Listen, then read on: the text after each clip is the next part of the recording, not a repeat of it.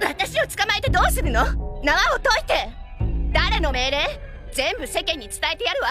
ここで起きたこと。なん。だ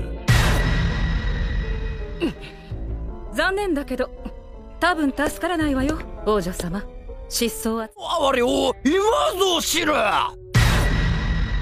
おい今熊取のカード見ただろ。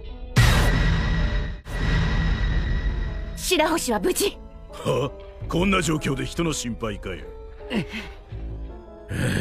とした天竜人をぶちのめした奴らは俺たちは麦わらのルフィの子分だ勝ち名乗りを上げて広場は今大騒ぎだああこれ以上の面倒はかけねえ。でほしいもんだ今回のレベリーはどうかしてるぜ変われる冗談じゃない